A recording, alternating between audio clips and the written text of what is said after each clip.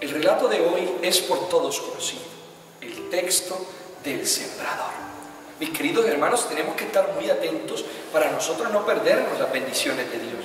Es muy fácil usted y yo perdernos las bendiciones de Dios, perdernos la gracia de Dios, perdernos la misericordia de Dios, perdernos la salvación.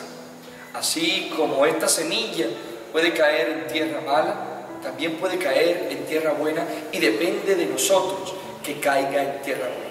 Hoy la palabra del Señor está sembrándose en tu corazón, en tu mente y en tu alma y viene a tocarte. Dios viene a tocarte porque quiere tu transformación, tu conversión, porque Dios quiere tu felicidad, tu gloria y tu salvación. Pero tener cuidado que nuestro corazón y nuestra vida no sea como aquella semilla que cayó al borde del camino, que no seamos nosotros esa tierra, el borde del camino.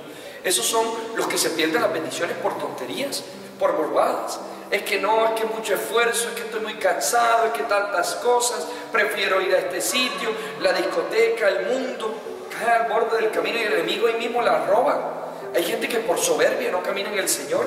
Hay gente que se pone a criticar y dice, no, yo quiero ir si hay tantas dificultades en la iglesia, vea lo que hacen los curas, vea lo que hacen las monjas, vea lo que hacen los laicos comprometidos, vea lo que... Y critique y critique y se pierde las bendiciones de Dios, porque usted no sigue cura ni monjas, usted sigue al Señor. Los sacerdotes y las religiosas son instrumentos de la bendición de Dios, pero usted sigue al Señor. Un laico comprometido, coordinador de un grupo, es un servidor del Señor, pero seguimos es al Señor. Y nos perdemos las bendiciones de Dios porque me dijeron aquí, porque me dijeron allá, porque no quiero, porque que me voy para tal parte, porque que tengo un paseo, porque que tengo... Y tantas cosas nos roban las bendiciones de Dios. Tonterías, minucias, nimiedades y cosas hasta negativas. Hay gente que no se acerca al Señor porque el pecado lo carcome y tiene miedo a acercarse al Señor porque el pecado es cobarde. Y se pierde las bendiciones de Dios por estar buscando las bagatelas del mundo, como el relato del hijo pródigo comiendo la comida de los santos, se pierden los banquetes de Dios.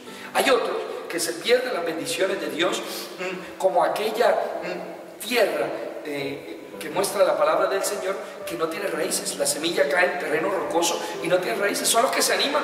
Hay gente que va a un congreso de la renovación, un retiro y eso se anima así. Voy a seguir al Señor y ahora sí. Y se apagan al ratico. Empiezan muy animados y se apagan. Gente que no tiene profundidad espiritual. Arrancan y no tienen perseverancia. Primero, no se deje robar las bendiciones por bobadas y tonterías. Hay que seguir al Señor. Y segundo, hay que tener perseverancia. Y hay un grupo tercero que se pierde las bendiciones de Dios porque caen como en las espinas y tienen esa tierra llena de espinas. No cosas negativas, no están en el pecado, ni son gente que no tiene perseverancia. Esa gente es gente que por las afanes del mundo, por las cosas del mundo se dejan perder las bendiciones de Dios. Es que tengo que trabajar, es que tengo que hacer tal cosa. A veces no cosas malas, cosas buenas, el trabajo, los hijos, tantas cosas. Pero van asfixiando la espiritualidad y se dedican a hacer tantas cosas urgentes, urgente, urgente, tengo que hacer esto urgente y se pierde lo esencial. Eso es propio del mediocre, el que pasa haciendo cosas urgentes y se pierde lo esencial.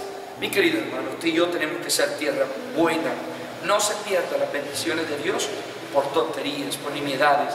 Sea perseverante en el Señor y no deje que nadie, nadie, aún cosas urgentes, le quiten lo esencial. Dios quiere germinar con su salvación en tu